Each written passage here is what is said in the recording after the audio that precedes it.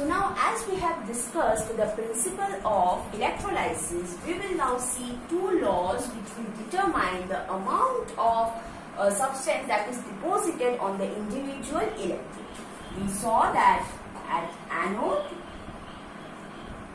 oxidation took place and at cathode, reduction occurs. So on the anode side, we will get so anions migrate, cations migrate. Now it migrates and discharged. That means it is deposited on the surface of the electrode. So it is deposited on the surface of the electrode. So now we have to determine what is the amount of substance that is deposited on the individual electrode. For that we have to know we have to know two laws. First one is Faraday's law of electrolysis and we will do the first law. Faraday's first law, we have second law. Faraday's first law states that when an uh, when an electric current is passed through an electrolyte, the amount of substance that is deposited on the respective electrode is directly proportional to the amount of electric current that we are passing through. That means Suppose um, uh, in, in case of sodium chloride or if we take some other examples, suppose copper sulfate, aqueous solution of copper sulfate.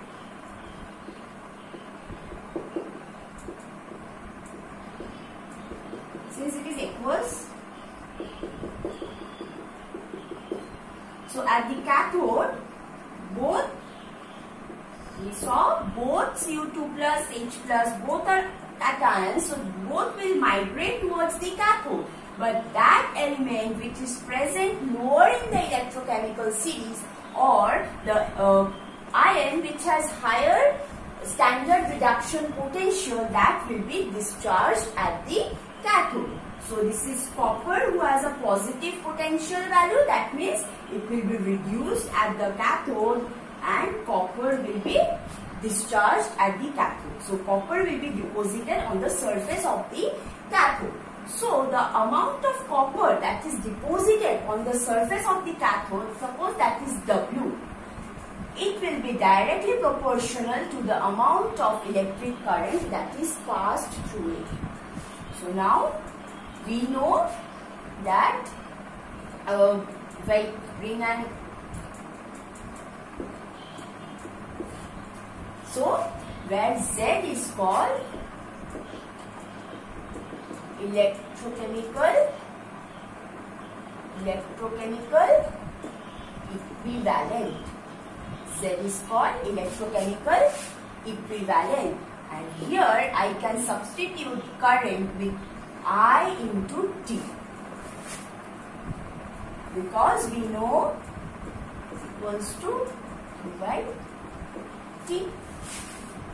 So, this is your Faraday's first law of electrolysis where the amount of substance that is deposited is directly proportional to the amount of electric current that you are passing through the electrolyte.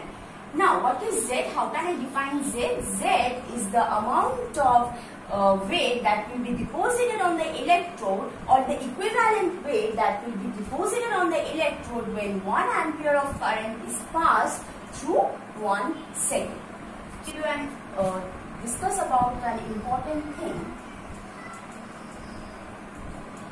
Charge on charge on one electron. You know it is 1.602 into 10 to the power minus 19 coulomb. Now, if I calculate the charge on 1 mole of electron. I am calculating the charge on 1 mole of electron which will be equal to 6.02 into 10 to the power minus 19 into 6.023 into 10 to the power 23. That is the Avogadro number. This will give you a value 96500 coulomb. That is 1 Faraday. That's why this is how the Faraday's value has come. Okay. So now if I take one reaction like this one only.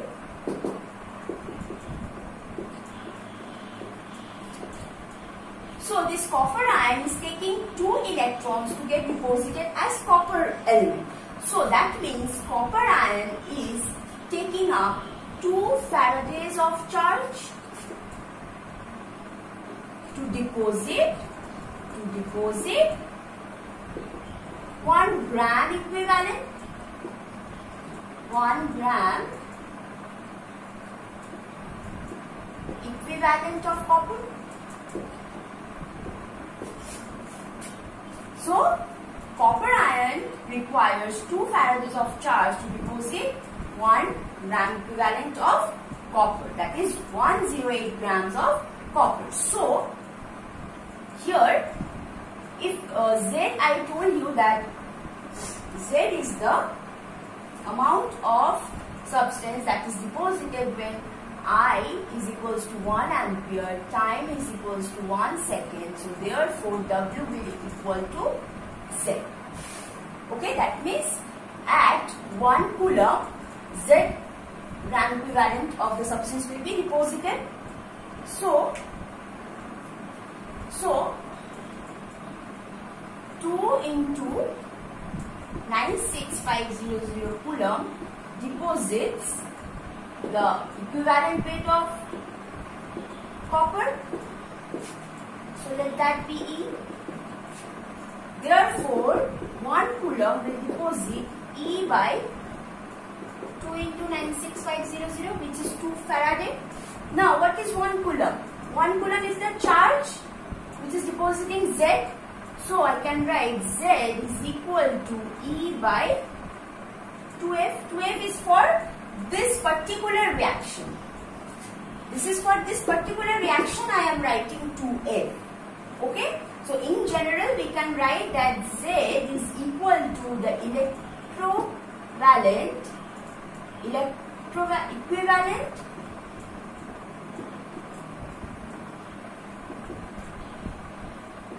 by the Faraday's constant. By the this can be the atomic weight as well. So this is how I can find out the value of Z and we can substitute that in this place in the sums uh, ampere will be given, time will be given. So I can calculate how much of this copper is deposited when some amount of electric current is passed through uh, some t seconds. So I can easily get the value. So this is your first law of Faraday's in electrolysis.